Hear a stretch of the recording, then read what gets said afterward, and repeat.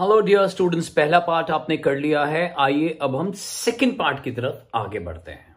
आइए sir part two के इस पहले क्वेश्चन को देखते हैं। जल्दी से यहाँ पर three plus sine x upon one plus sine x ये डायरेक्ट क्वेश्चन तो लग भी नहीं रहा है सब्सटीट्यूशन का।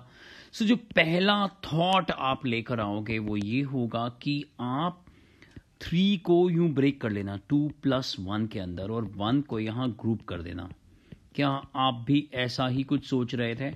और मैं फिर से बता दूँ the best way is to stop the video pause the video try to solve on your own और अगर नहीं हो रहा तो हम यहाँ पर आपके साथ कर ही रहे हैं। ध्यान से देखिए मैंने इसे यहाँ दो पार्ट्स में ब्रेक कर दिया है।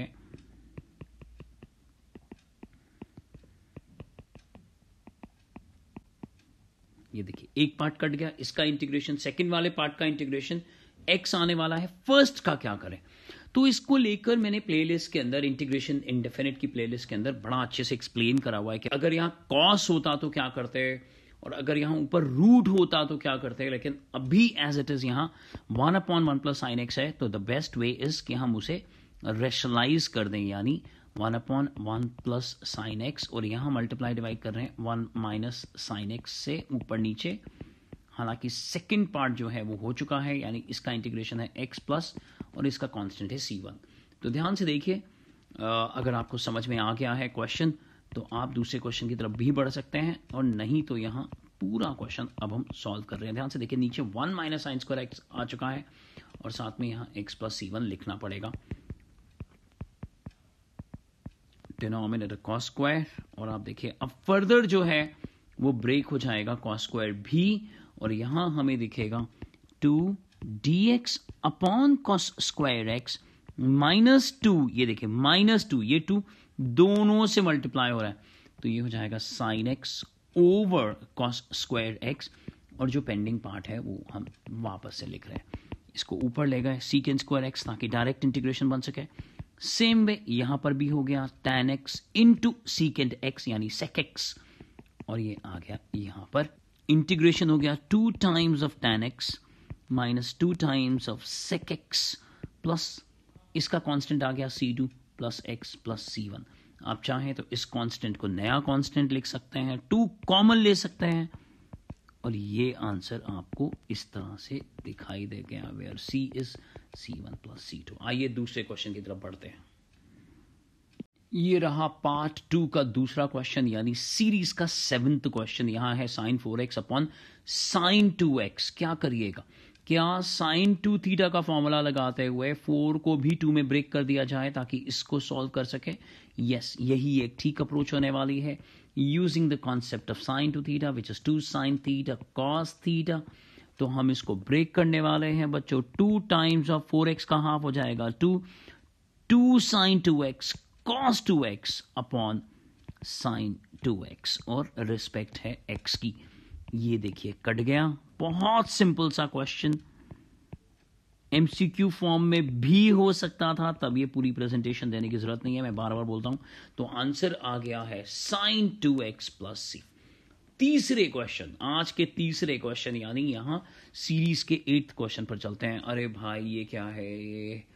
ये क्या है? ये तो ऊपर डेरिवेटिव दिखाई दे रहा है, x टू दावर e का, लेकिन ई e एक्स का डेरिवेटिव तो e होता है। लेकिन e कॉमन भी लिया जा सकता है तो देखिए क्वेश्चन तो हो गया सॉल्व कैसे? ध्यान से देखिए प्लस के साथ भी आ सकता है क्वेश्चन होल स्क्वायर के साथ भी आ सकता है, यहाँ पे भी प्लस हो सकता है।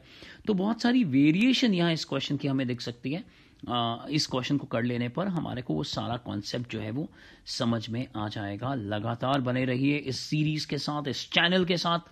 चैनल को अगर अभी तक सब्सक्राइब नहीं करा है तो सब्सक्राइब कर लीजिए बेल आइकन प्रेस कर लीजिए, क्योंकि यहाँ पर हम एजुकेशन से रिलेटेड हार्ड कोर क्वेश्चन को सॉल्व करते हुए कॉन्सेप्ट को सॉल्व करते हुए हम लोग मोटिवेशन पर भी बहुत सारे लेक्चर्स लेकर आते रहते हैं। अब मैं डिनोमिनेटर को put x to the power e minus e to the power x equals to t chain rule लगाते हुए देखिए ई e आगे आ गया x to the power e minus one और e एक्स का डेरिवेटिव आ गया d x is equal to d t अब देखिए, यहाँ से अगर मैं e कॉमन ले लूँ, ध्यान से देखिए, दोबारा से देख लीजिए। अगर मैं यहाँ से e कॉमन ले लेता हूँ तो पहले पार्ट में तो कोई फ़र्क नहीं पड़ेगा, लेकिन दूसरे पार्ट में, क्योंकि ई मैंने कॉमन लिया है तो वो पावर सब्ट्रैक्ट हो जाएगी और यही हमें चाहिए। ध्यान से देखिए, अब मैं क्या कर सकता हूँ? ई e से मल्टीप्लाई डिवाइड कर सकता हूँ, या इस ई e को नीचे ले जा सकता हूँ, जिससे कि ये पूरी term x to the power e minus one minus e to the power x minus one d x is equal to d t over e कई बार बच्चे बोलते हैं कि, सर, कुछ क्वेश्चन बहुत टफ होते हैं, कुछ क्वेश्चन अचानक से आसान हो जाते हैं। तो बच्चों, ये तो सीरीज़ है और हमें तो हर तरह के बच्चे को यहाँ पर कैटर करना है, उससे बात करनी है, उसको समझना है, उसको अपलिफ्ट करना है। इसलिए हर तरह के क्वेश्चंस यहाँ पर अवेलेबल हैं, चाहे वो एमआईटी से रिलेटेड हो या एडवांस लेवल हो या वो सी e और सी e के कुछ बेसिक क्वेश्चन हो। तो ये पूरा टर्म बन गया है। अब ध्यान से देखिए, ये और ये मिलाकर बन गया है डी टी अपॉन ई और डिनोमिनेटर जो है वो है t so one by e log mod the denominator और देखिए डिनोमिनेटर की वैल्यू क्या है। अब आपको ये कॉन्सेप्ट जो है वो समझ में आ गया होगा। आइए अब हम सीरीज़ में आगे बढ़ते हुए ये रहा क्वेश्चन नंबर नाइन आज का फोर्थ क्वेश्चन देखकर ही समझ में आ गया, क्योंकि मैंने लास्ट लेक्चर में बोला था कि एंगल को तो लीनियर होना चाहिए। और जैसे जब आप इसको देख रहे हैं कि लीनियर होना चाहिए, उसी वक्त आपको यहाँ पर एंगल का प्रोडक्ट रूल जो है वो ऊपर दिखाई दे रहा है। तो आप क्या करेंगे? प्लीज़ मुझे क्वेश्चन मत लिखने दीजिए। मैं डायरेक्टली यहाँ टी पुट कर रहा हूँ और यहाँ प्रोडक्ट रूल लगा रहा हूँ। X as it is e x का derivative e x plus e x as it is x का डेरिवेटिव वन और यहाँ d x is equal to d t हो गया। पूरे का पूरा न्यूमरेटर डी टी में कन्वर्ट हो गया है। D t upon cos square t integration आपको मालूम है क्योंकि थोड़ी देर पहले क्वेश्चन का पार्ट था ये। आंसर आ गया है टेन टी प्लस सी और हाँ आपको एक्स में लाना ज़रूरी है। ये देखिए ध्यान से, हो गया क्वेश्चन हमारे पास ये। Tan of x e x plus c आइए आगे बढ़ते हैं। आज के आखिरी क्वेश्चन फास्ट क्वेश्चन की सीरीज़ में ये पार्ट टू था बच्चों। अगर आपको किसी भी तरह के किसी भी टॉपिक सब टॉपिक या चैप्टर में अगर किसी भी चीज़ की ज़रूरत है, किसी सपोर्ट की ज़रूरत है, कुछ लेक्चर्स की ज़रूरत है, किसी काउंसलर की ज़रूरत है तो यहाँ पर एक नंबर लगातार रिफ्लेक्ट करता रहता है या डिस्क्रिप्शन बॉक्स में भी वो नंबर है।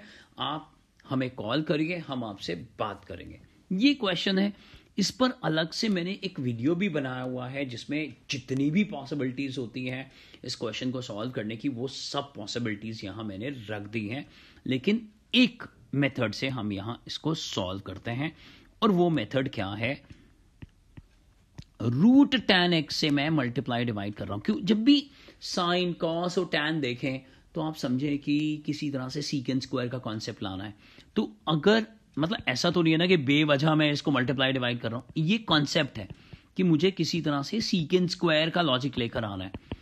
ये देखिए, रूट टेन रूट टेन क्या हो जाएगा टेन और ये हो गया साइन इंटू कॉस डिनोमिनेटर में, और ये हो गया one upon under root of tan x अब हम क्या करते हैं? टैन को भी ब्रेक कर लेते हैं साइन और कॉस के अंदर। Sine x upon cos x into one upon sine x into cos x into one upon root of tan x into d x ध्यान से देखिए। अब साइन से sine cancel cos into cos क्या हो गया? One by cos square x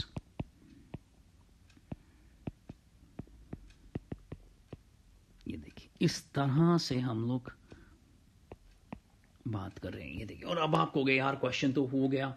ten x को d put कर सकते हैं, ऊपर डेरिवेटिव आ रहा है। तो अब यहाँ हम थोड़ी सी अपलिफ्टमेंट की बात करते हैं। जिन बच्चों को लगता है कि वो टेन एक्स को टी पुट कर कर आंसर ले आएँगे, भैया इतनी नॉलेज तो उनके पास है। अब देखो हम क्या कर रहे हैं। हम under root of tan x को टी पुट कर रहे हैं। यानी टेन एक्स को टी स्क्वायर पुट कर रहे हैं। देखिए देखिए देखिए, अगर ये क्यूब रूट होता तो आप टी क्यूब पुट करते हैं। और ये टेन एक्स का डेरिवेटिव आ क्या है? Sec square x d x is equal to two t d t यानी ये पूरे की पूरी टर्म टी नीचे, और ये पूरे की पूरी term two t d t अब आपको क्या टी और डी भी कैंसिल हो गया? ये तो सिर्फ़ one times of d t रह गया। तो यस इसका इंटीग्रेशन हो जाएगा टू टी प्लस सी और टी एक पॉजिटिव रूट के साथ हमें सामने दिख रहा है two times of root tan x plus c हो गया बच्चों।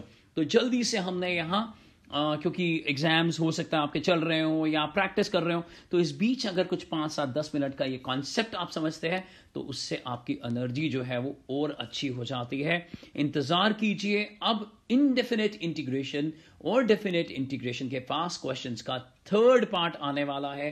हम यूजुअली इसको मंडे या फ्राइडे को पोस्ट करा करते हैं। देख लीजिए इसको अच्छे से और इस चैनल के बारे में अपने दोस्तों को ज़रूर बताइएगा। बच्चों, पढ़ते रहिए और आगे बढ़ते रहिए।